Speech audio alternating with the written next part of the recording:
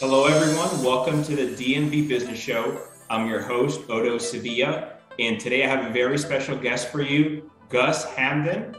Gus is the owner and founder president of Emprove Remodeling. Welcome to the show, Gus. Thank you so much for this opportunity. I'm honored to be here. Oh, thank you. So kind. I, I appreciate you being on. Um, so Absolutely. before we get into your remodeling business, I like to get the audience to get to know you as a person a little bit more. Are you originally from the DMV, DC, Maryland, Northern Virginia area? Yes and no. so, and I say that because, so the short answer is no. I was born and raised in Beirut, Lebanon. Um, beautiful place. Uh, unfortunately, got destroyed a few times over the years. But uh, about 20 years ago, I moved to the States, and the DMV was the very first place I moved to. Um, so, which is why I say yes and no. So, I wasn't born in the DMV or in the, in the States, but the DMV is my second home. So, you grew up in Beirut, Lebanon, right? I did. And you were around how old when you left Lebanon? I was 20. 20. Okay. Oh, wow. So, big, big part of your life there. Yeah, absolutely. Yeah. How, so I've spent half of my life there, half my life here at this point, which is kind of cool. How was it growing up in Beirut? Um, so if I were to use one word, I would say crazy. Um, in a good and a bad way. It was it was good when it's good, and unfortunately not so good when it was bad. Um, and I say that because you know we try to make we, we always try to make the best out of it. And as Lebanese people, we're we we we love to have fun. We love to party. We love to live life to the fullest right? And so even when things aren't all that great we try to make the best out of that situation. Um you know unfortunately we're we, we got we got used to um you know the bombing and things not being you know so perfect. Um we got accustomed to it and we you know we can basically switch back and forth at any moment um, it's a little bit different now that i've been in the states for 20 years so my lifestyle and you know is a little different obviously the states and the way things are here are different and so i can't say i'm used to that lifestyle anymore but sure.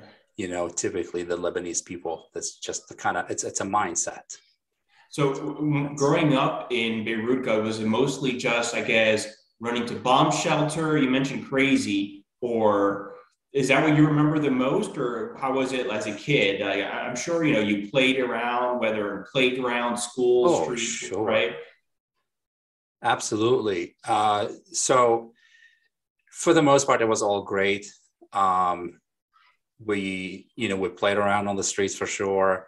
We were, you know, I mean, we we lived right on the Mediterranean. I could see the Mediterranean from my bedroom window. That's how close we lived. And you know, I remember every summer, you know, uh, myself and my sister would just go and spend 12 hours a day at the beach at the Mediterranean to just, you know, by ourselves, no supervision. I'm talking like, you know, we were, you know, 12, 13, 14 years old. Yeah. Um, and so those are the the good memories and you know we have again just being close to the water or so close to the water give us a lot of opportunity um, as a kid as a young kid we uh, you know every summer we'd go to cyprus for example right? We had a like a cabin if you will at the beach and we just spent the entire summer there and then just take a, either a boat back or a you know a short you know flight back home um, and to, to go on with with with life again. So um but yeah i mean other otherwise i mean it's from otherwise from the all the bad stuff for the most part i i would say i had a great childhood um just you know grateful for to be able to live there then see how things are here in the states. Uh, not many people unfortunately get to experience that to see different cultures and different things like that. So i'm just grateful and uh, you know proud of it. You know that that's that's the nice thing when being a foreigner and of course depending on what country you're from but mm. you become very appreciative of what this country the united states is able to offer us so appreciative. Yes. To be honest with you every opportunity i get i like to talk about that for a little bit because we we tend to take things for granted. We take to because this is our norm now right? We have things at our fingertips and for the most part our problems are the internet is down for five seconds or you know um, what am i going to eat today? I can't make a decision. You know my life is about to end and so and obviously i'm i'm going to the extreme here but yeah. you know you know what i mean. So we have so much that's available to us here in the states that this country has to offer. It's incredible. And so and the fact that we take so much of it into you know uh, you know granted it's, it's just a uh, it's sad but at the same time i also understand why people do that because they're not they, they, they, they that's what they're used to. That's the norm you know? Yeah you know it, it's true and um I, I, like yourself, I'm also an immigrant, even though I was raised here. I came here at a very, very young age and grew up in mm. the DC metro area. Um, but I would always go back home to visit family in my country. And, and mm. it's a third world country. And you just get a deep appreciation of the opportunity you have here in the United States. And, and then I would come home and I would see it even in the neighborhood where I would grow up about, and you would see other students and they're not just, they're, they're just not taking advantage of their life. And I would see it as a kid. And I was like, it would be so sad because I know what the other coin is, just like you mentioned. Um, Absolutely. Yes. Absolutely. We have, especially now, and the what the way things changed after COVID. Um, there's so much that kids nowadays can do that's available to them and even back then but now more than ever in my opinion is is it's just, it's endless amount of tools and resources that are available to not just kids but also adults yeah do, do you have any children yourself i do have four okay oh wow uh, you're yeah. a busy man very much so I, I, I, have I have three little ones myself, and I, I oh, thought wow. I was uh, I had my handful, but now yeah, you have four. You beat me there. yeah, and a dog. Oh, there you go. Yeah, me too. There you go. Nice. That's, that's, my girl. I have three boys, and uh, my dog is the girl. There you go. I like it. Okay. Yeah. Uh, yeah. But but even with my kids, and I'm mentioning kids because you know they grew up here. They're born in America, and um, nowadays I don't know the age of yours, but most of them is just they need a screen in front of their face. Not all of them. I don't I don't want to, but it's whether TV, tablet, computer, phone, you name it, and you just want to sort of take them away and even to a point, I'm always thinking of maybe sending them to a summer to a foreign country, just you know, because my wife is also an immigrant, and just just for them to see, even though we've traveled uh, also to other countries with them, but to it's different when you're there for the full summer than just going there for a week or two with mom and dad. Absolutely, absolutely. So it's funny because my wife and I were just talking about this the other day. Um, she she was born in DC, but her parents are from Bolivia. And so she's fluent in Spanish and she's been there. Um, she actually lived from age six to age 12 and then visited a few times over the years after that and so we were just talking about this that maybe we should we should send them there for for the summer just to kind of learn the culture learn the language you know just learn a different way of living yeah. and kind of remind them what it's like to be outside and play with dirt and you know stuff like that. Because i mean that's what we did as kids right? Yeah. But the other part of this is i'm also fully aware that this is the life that they have to grow up with because this is where the world is heading right um, you know, when they become our age, their generation, if they didn't know technology, if they're not up to speed on things, they will miss the boat. So, to a certain extent, I'm okay with it. Um, it's because it's just reality, you know. Yeah. Um, I don't. We don't necessarily limit them too much to watch time or things like that as long as it's educational. So I always have that conversation or argument, if you will, with the little ones, especially.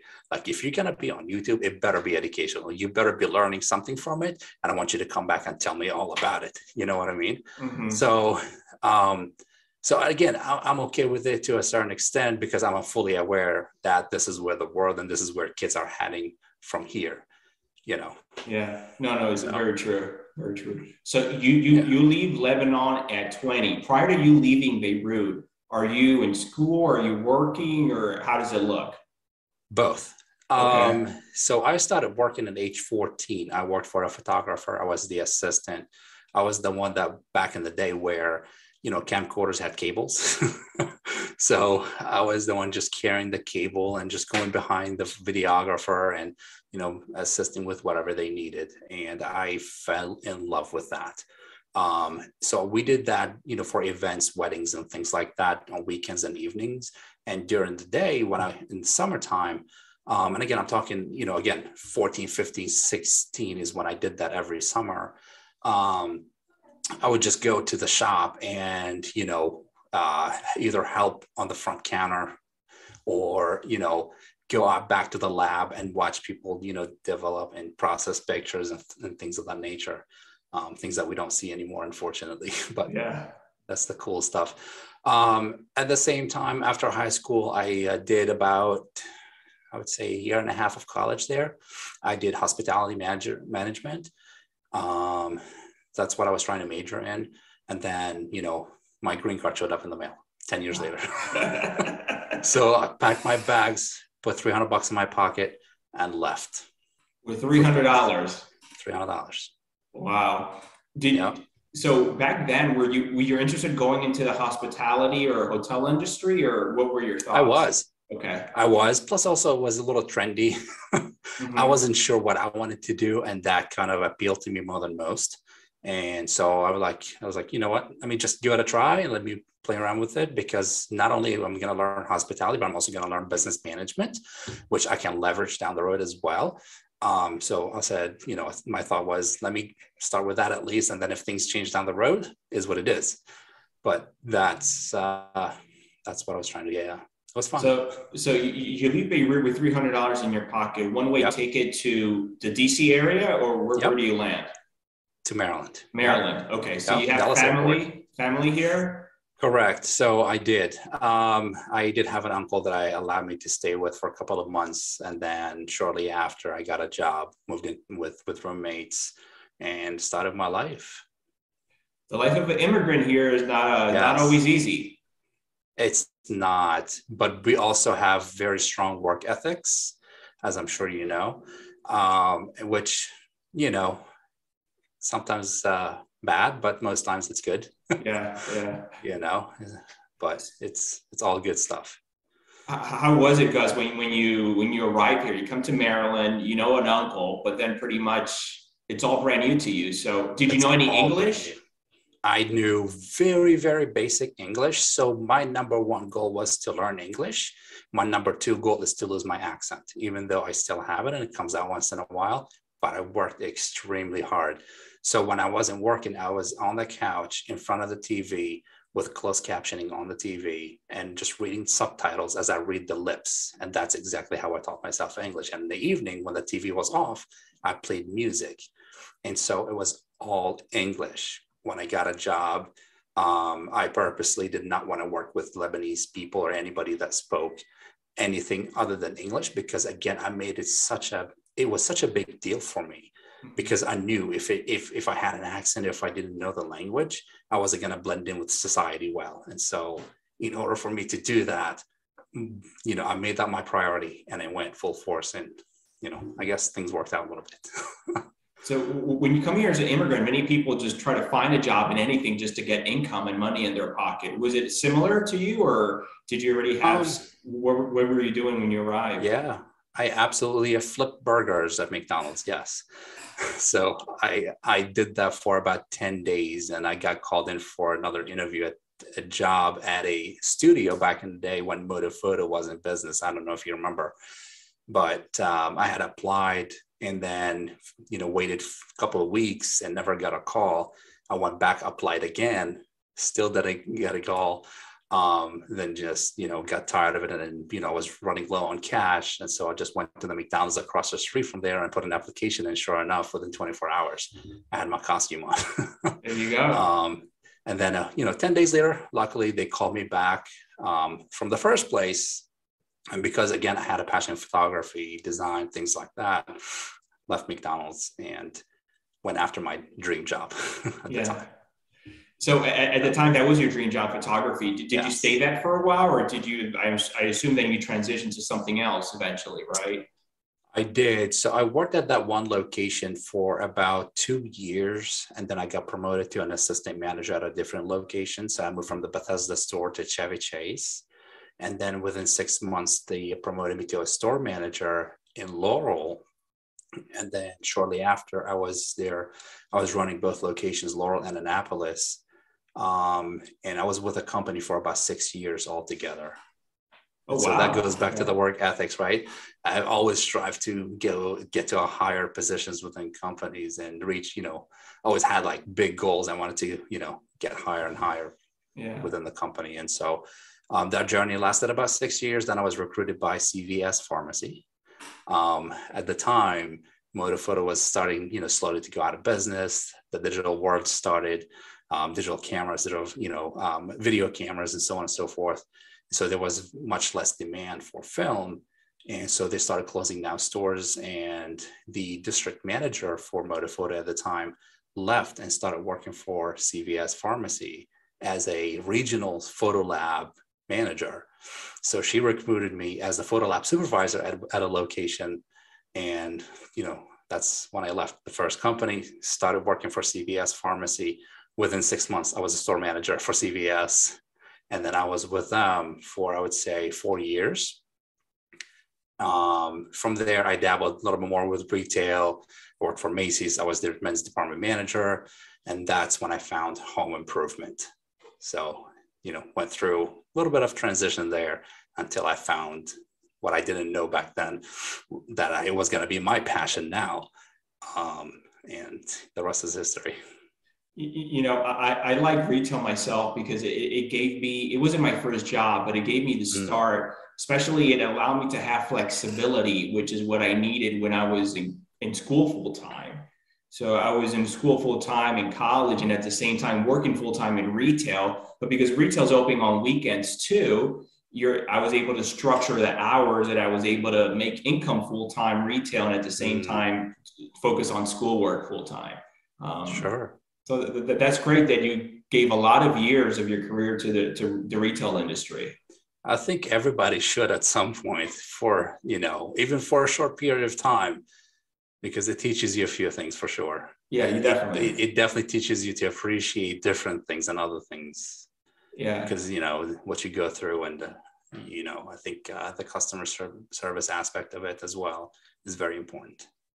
I agree. So from retail, then you moved to home remodeling, you said, right? I did. I did. So um, my daughter was born. She uh, she's now 10. Um, shortly before she was born, I started looking around for different things to do, um, better income, um, my wife at the time was very pregnant and you know all our babies were were heavy but that one was the heaviest. She was born uh, nine pounds and six ounces. So it put her on a bed rest for a little while. So and we didn't know when she was going to go back to work. So sure enough i started looking for different things because we went from two incomes down to one. And you know as i was looking through i think at the time was craigslist ad um, I don't even know if they still exist anymore. And I found, um, without naming names, one of the big players in the industry and started in sales with them. It literally took about a month for me to make to make that decision because it was a hundred percent commission position, and I just didn't know anything about home improvement.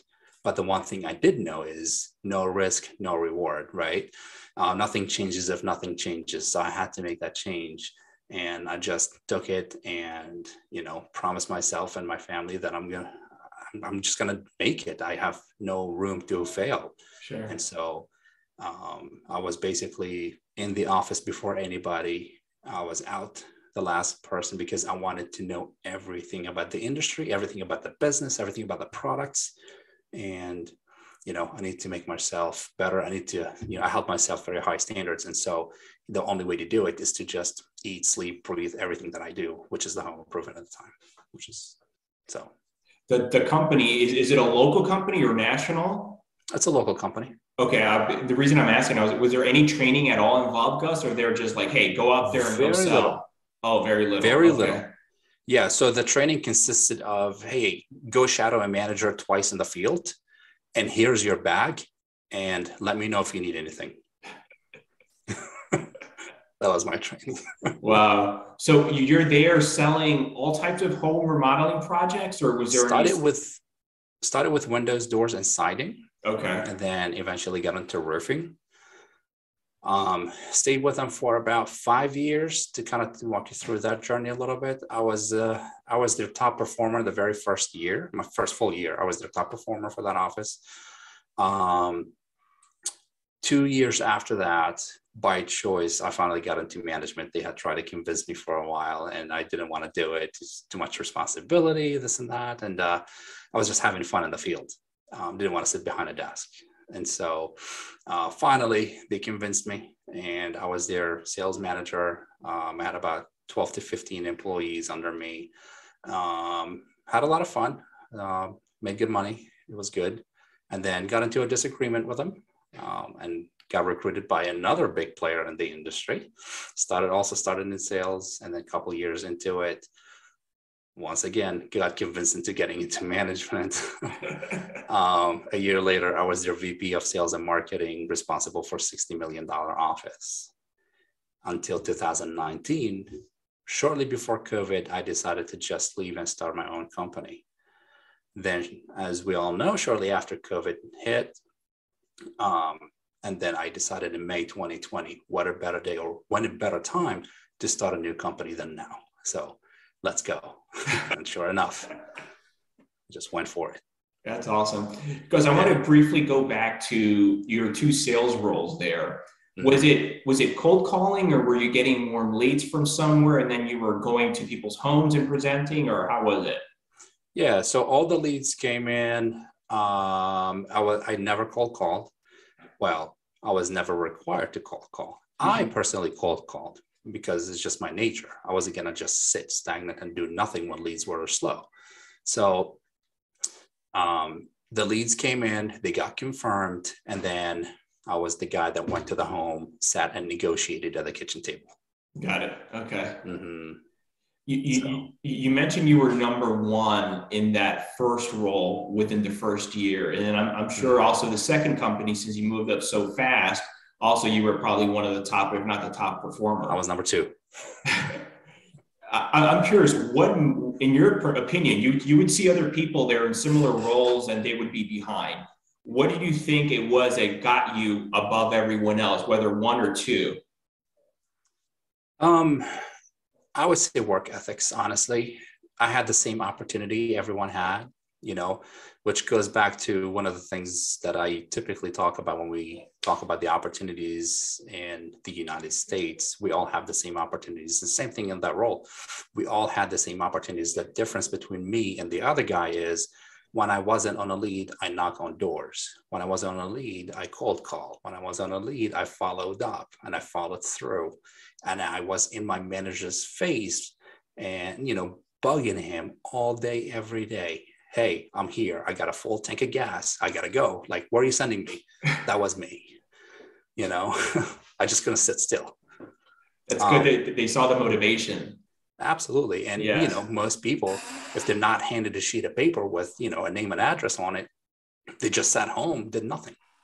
That wasn't me. so I was, I was out there. I was just doing. Good. So and, and, and, a lot of people probably don't do just because maybe they don't want to, they're lazy, or maybe they're just afraid that they'll get no's, but that's just part of it. Of course, they're just content. You know, I'm not okay making 40 grand, 50 grand a year. You know, it, just wasn't me. A lot of people are. Mm-hmm. And you know what? And that's okay. Sure. You know, I don't say this in, in a disrespect or anything. You know, there are, we're just different, just different breed.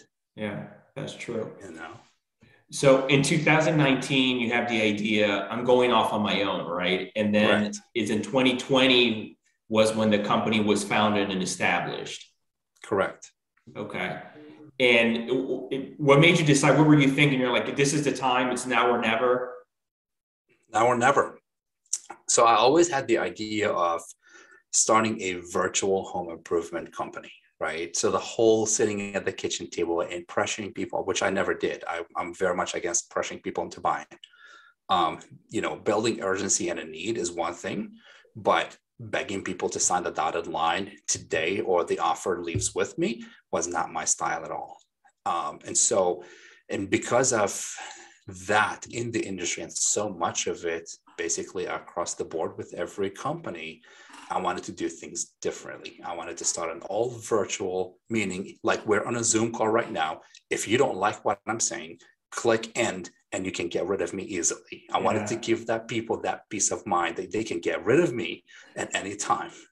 So if, if you see the value in me and what I have to offer, great. I'm happy to work with you. Otherwise, we're okay. We can part friends and life goes on. Yes. I'm okay with that too. And so, you know, and obviously with COVID, um, you know, because because of COVID, people got accustomed to using Zoom meetings and things of that nature. So I'm like, you know what? Perfect timing. Let's go. so yeah. it kind of came like full circle, right? And so so you, you started the company, Gus, after COVID, right? It wasn't before mm-hmm. COVID? After COVID. Okay. And, and I agree. It's like, perfect. This is it. It's uh, people are going to be comfortable with Zoom and let's do it. How, how was it? Were people actually comfortable doing the whole Zoom and then you showing them and yes or no or? Uh, they were they were comfortable with it. Yeah, I mean, okay. we, we we conduct a lot of transaction. I still bet in person during the install, and in most cases, that was the first time they met me because you know I started as a one man show, um, and so I was doing everything. So after the sale, we would get on a Zoom or a call, and we after the transaction was done during install, I would just show up just just to kind of you know say hi, six feet apart, and all that good stuff. Um, and yeah, I mean, people were were very okay with it. There's actually a perfect chance here for the audience to get to know what you and Emprove Remodeling. What do you folks do? Um, so we specialize in exterior replacement. That's roofing, siding, windows, doors, gutters, trim work. We also do kitchens, and we soon are thinking about getting into the bathroom remodeling as well. But um, kitchens have been, as they say, for lack of better words, flying off the shelves. so there's so much demand and you know even now the, all the consultation and the meetings everything gets done virtually. Oh really? Yeah and i'm oh, i don't know if you if you're gonna get into the process and how we do things it's kind of cool because it took us a few things uh, you know a few months in trial and error to perfect it to where it is now. But uh, it works that's great. So, how does it work if you don't mind going into briefly? So, they express interest somewhere online, or and then if you can walk us through the steps, please. Absolutely. So, all our customers basically find us one way or another. We focus a lot on social media um, heavily. We're always there. We're very active. Um, we also run Facebook ads. We uh, also have other sources, and we're working with somebody you actually met with. His name is Phil um, we partner with them with Flash Consulting, and they're doing an amazing job on the back end with SEO and a flashlight and everything else. Um, so everybody that come through our desk is some is because they found us somewhere online, um, and we also get a lot of referrals. Um, we've gotten, I would say, almost every customer that we've done work with or for have sent us at least one referral. So it's been amazing. And so to kind of walk you through the process on the exterior work, we still conduct everything virtually. So we have Chris, our director of sale, he gets on the phone or Zoom, whatever they're comfortable with after the, the virtual consultation is confirmed. So we get on that call with them and then we go over product, we email them specs and so on and so forth and proposals. And if they like it, they sign up. If they have more questions, obviously we're here. Um, and then we just schedule the work. Now, for kitchens is a little bit different. It's a multi-step process. It also starts with a virtual consultation. From there, we schedule a technician to go out and we do a 3D scan using Matterport, if you're familiar with it. Yes. You're in the real estate space, so you probably have heard of it or seen it yes. before. Yes. So we do the same thing for kitchens. We go out with our, you know, $4,000 camera and we scan the entire area. Um, and then we measure at the same time. Then we have our inside designer, which we didn't have until recently. So we're now a full design build company. So our inside designer, um, kitchen designer, will do all the design for them based on the notes that we took on the virtual consultation. And then we invite them into our showroom to go over design product. As you can see behind me, you can probably see the samples. We have countertops, we have handles, we have flooring, we have different things. Um, so we invite them in, they go over the details, we go over the design with them, and if they decide to move forward, great. If not, again, we part way as friends and we move on. That's great. So uh, obviously doing the work, you, you have, I guess, third-party crews that you have relationship with that go out there to the clients' homes and then do the work, whether it's exterior or interior of the house. Yes and no. For the exterior, I've, we've had a relationship with the crews for over 10 years. I literally met the windows and siding crews um, when I started at the very first company I worked for. Um, for the interior, however, we have our own crews. So oh. they we drive they drive our own vehicles. They go to the job site and do everything. They're all our own crews. Okay. So all the plumbing, all the electrical, all the demo, all the installation, everything with the exception of the countertop, because we have to rely on fabricators. Sure, is done in house. Wow. I mean, you, you probably couldn't have picked a better time to get in the remodeling construction business when COVID, because I know they just had a huge boom. Everyone just at home. And they're like, oh, honey, let's focus on, let's remodel the kitchen or the bathroom or whatever it is.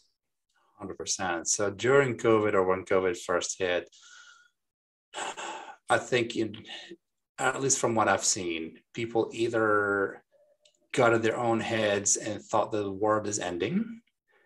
Um, so you have that type of people, and you have other type of people that saw the opportunity and said, you know what, let's pivot and let's blow up. And so um, I was one of them, those people that saw the opportunity and started and made something good out of it. And to your point, because of COVID and the demand, and when people were staying home, we're almost a recession proof industry, um, whether COVID or not. But you know, you're right. Because of that, we've seen a huge increase in the demand. The unfortunate part, you're dealing with high prices, lumber, roofing material. I mean, everything. We literally just got an email earlier today. Cabinet, uh, kitchen cabinet pricing are going up eight percent, and it's it's. I don't see it stopping anytime soon, unfortunately. But people want it, and which is which is part of the the yeah. price increase because mm-hmm. of the the amount of demand. Manufacturers just they're at a point where just don't care because people are just going to buy it regardless. Are, are, are most of your customers and clients, Gus, where are they located? So we currently serve four different counties. Um, we're both from Maryland, so you're familiar with the area. So we service um, Montgomery County, Frederick County, Prince George's County, and Howard. Okay. Mm-hmm. And, and your office is in Rockville? We're in Gaithersburg. Gaithersburg. Right. Okay. Yep. Right in the air park in Gaithersburg. Yeah, very familiar with that area. Are you? Yeah, I, I have a, nice. I have some clients there. Very cool. Yeah, okay. yeah, very, very central. Especially like you said, you have 270 there, or you can yes. go to Howard County, you have it on the other side.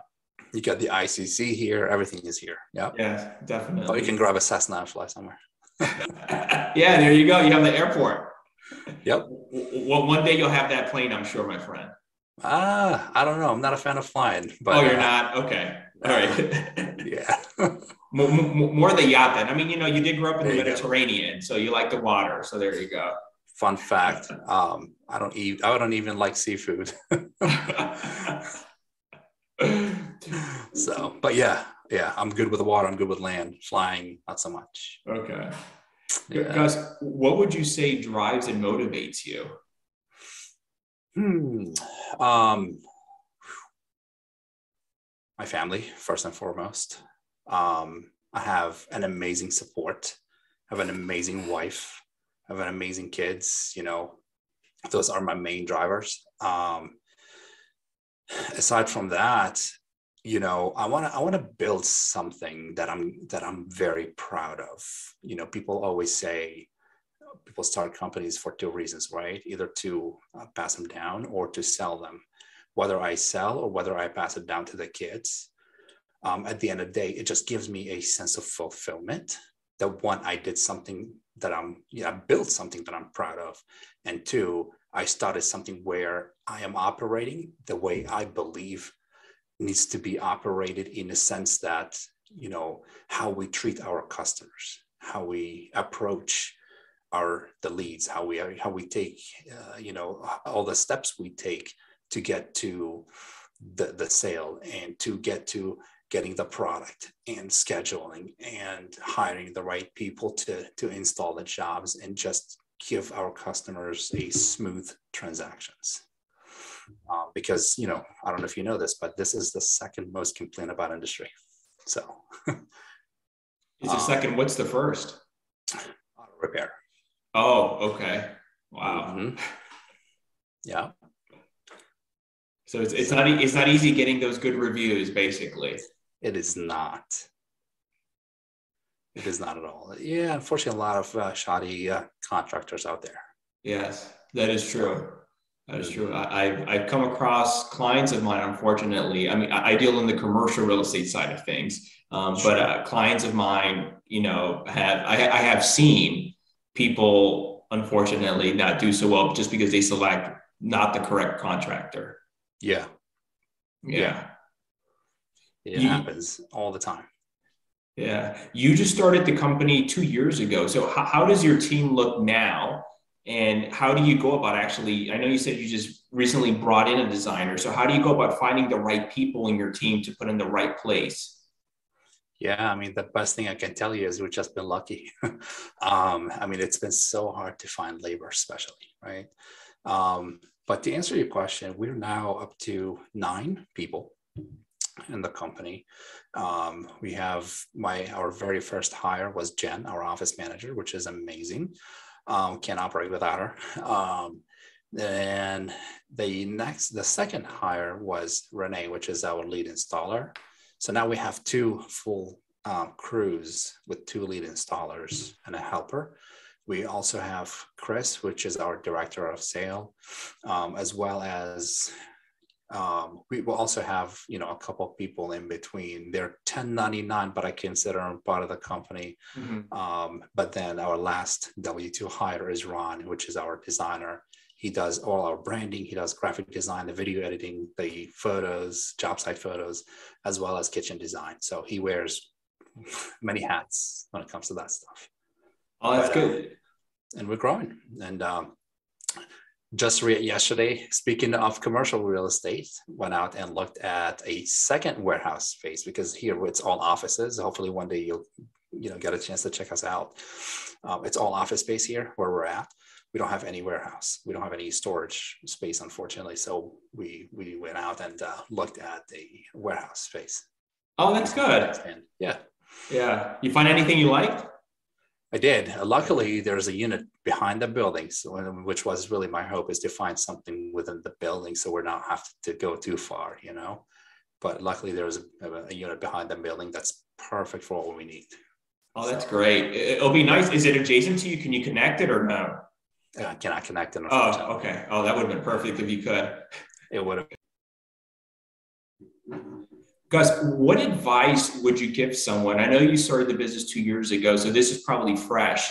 But if someone came to you and said, "Hey, Gus, I want to start," doesn't have to be home remodeling, any type of business. You're selling a service or a product. What are a couple pointers or suggestions you would advise that person to do? Um, so first you have to have a mindset, that entrepreneurial mindset to start something um, if you don't maybe it's best that you don't start something and that's okay too. You know i think people you know uh, not this is being an entrepreneur and being a business owner is not for everyone. You know it's a lot of work. It's it's a it's it's it's a mindset. And so the advice i would have if you're going to start something just do it. Don't don't overthink it. Just do it right? Um don't overplan things. Don't wait for the perfect moment. You don't need to have all your ducks in a row. You will figure things out. There's always going to be something that you don't know about that may or may not hold you back. But mm-hmm. um, just, you know, put that on the back burner, go on. You'll eventually circle back for it to, to, to, to perfect that point, whatever it is.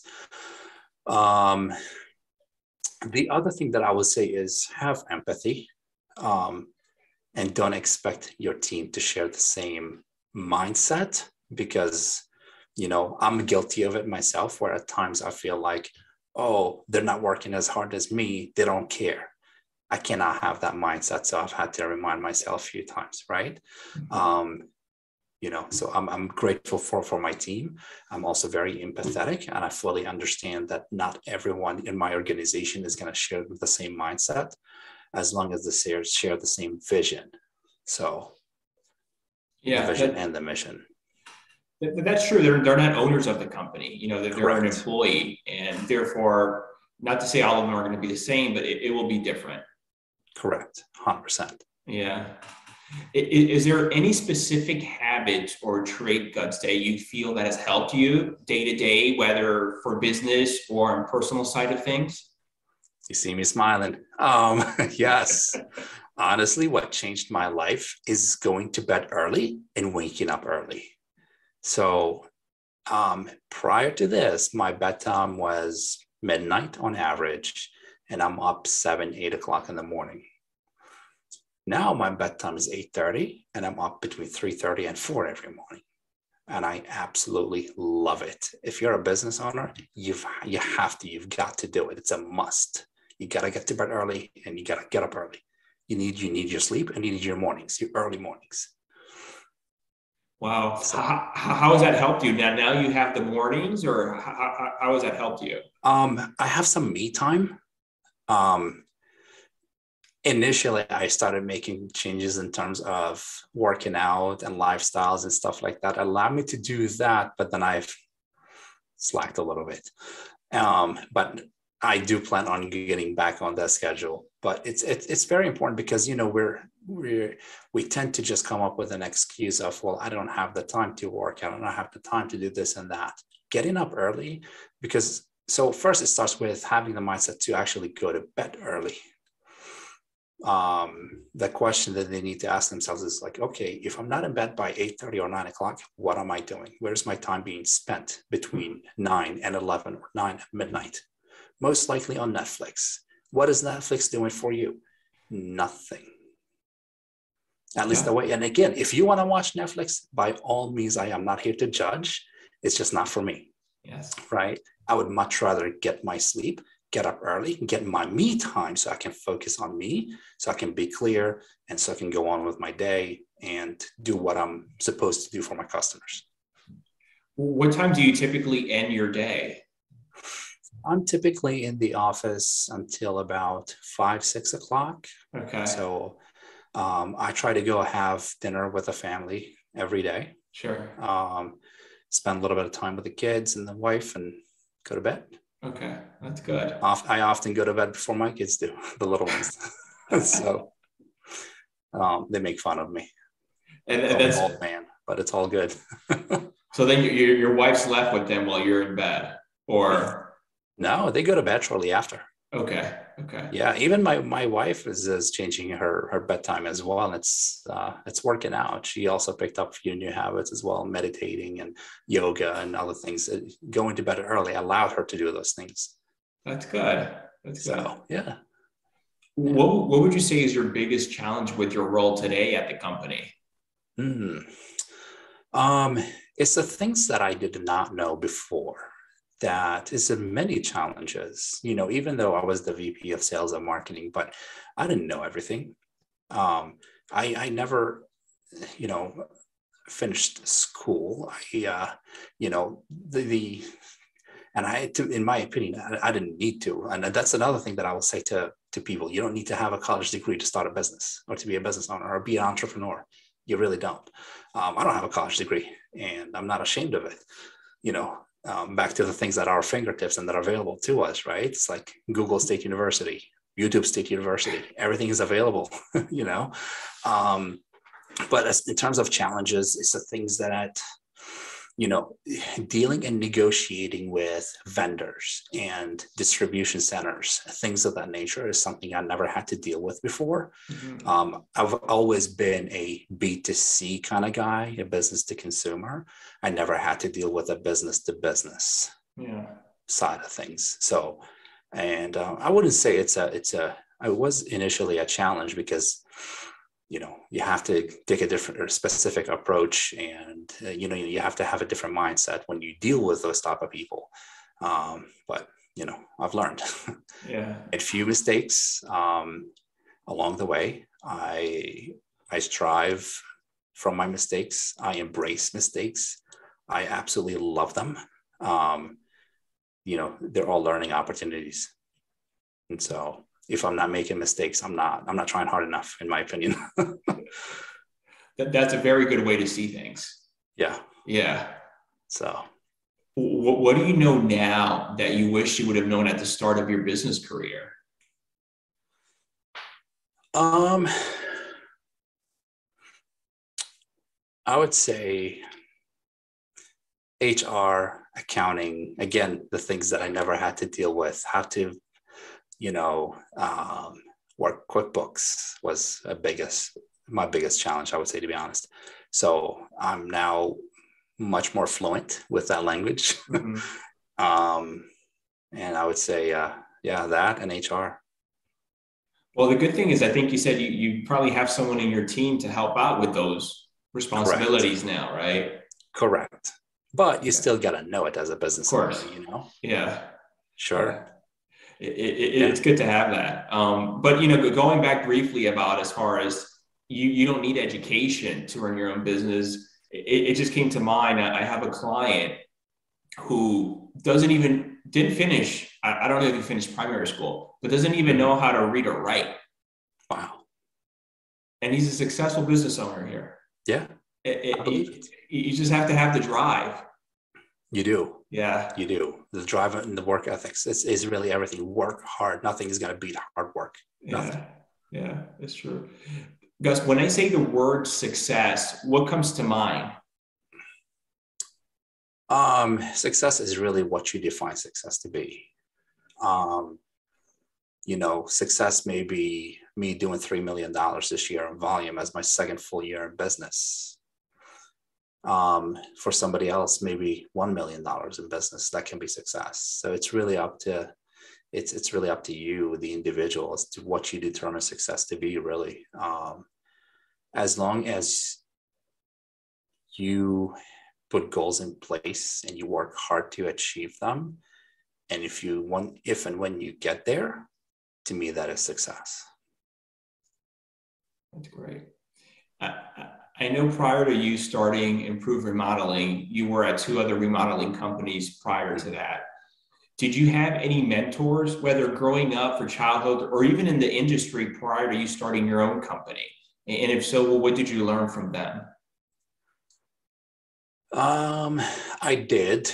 As growing up, unfortunately, no, I did not have a mentor. Um, I didn't have a very close close relationship with my father. I didn't have um, any other father figure to fill that role for me. Um, now in business, I did have a mentor, but unfortunately, we we we lost connection and uh, we were no longer on good terms, and so and that's okay too. Um, I learned um, your people are everything um, even though I knew that, but he reiterated and because, you know, I he I am now full in full belief that one, you work for your people, they don't work for you. And then two, you treat them right and they stay around. And then three, you know, people typically don't quit companies, people quit people. And so um, I would say that's that's the biggest thing I've learned. I love that. I love that a lot. Coming to an end here now, Gus. Mm. What does the future hold for you and the company? What does the next couple of years or five years look like? Um, so we we're gonna we, we've been growing. Um, we're gonna continue to grow. One thing that I don't want to do is I don't want to blow up. We want to grow steadily. We want to take the right steps instead of just going full force and everything. That's not my intention. I do intend to grow, but with a strategy, right? Um, and so, you know, the next thing we're going to do is we're going to introduce bathroom remodels um, along from kitchen. We're, we're perfecting kitchen, the kitchen process currently. Once that where it needs to be, we're almost there. Um, we're going to introduce bathroom remodeling.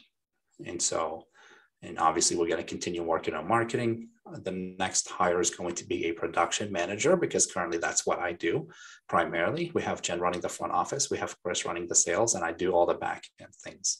So once we have a production manager, that's going to free me up from doing all those things so I can focus primarily on marketing, which is my passion. And it's really what I love to do on a daily basis. So that's yeah. awesome.